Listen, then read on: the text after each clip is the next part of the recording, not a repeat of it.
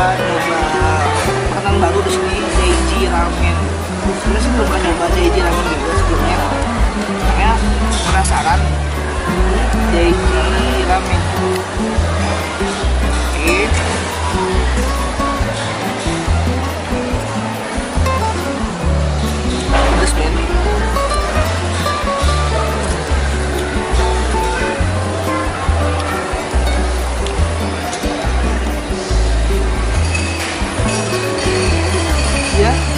agak beda.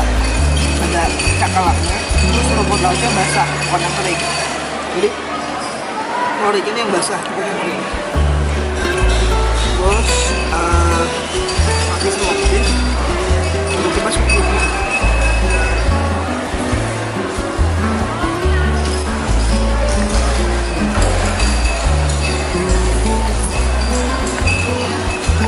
kan